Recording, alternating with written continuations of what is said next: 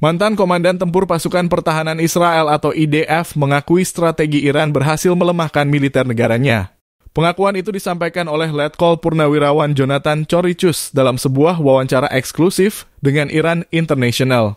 Choricus mengatakan dirinya sedih mengakui bahwa strategi Iran berhasil melemahkan Israel. Menurutnya Iran tak perlu susah payah memikirkan cara untuk melemahkan Israel. Sebab tugas tersebut sudah dilakukan oleh proksi-proksinya. Saya sedih mengakuinya, kata John Richus selasa 10 September 2024. John Richus menyebut strategi Iran berhasil menguras tenaga militer Israel. Tapi strategi Iran mengepung Israel dengan organisasi teroris atau proksi-proksinya dan melancarkan serangan yang menguras tenaga berhasil bagi Iran, lanjut John Richus.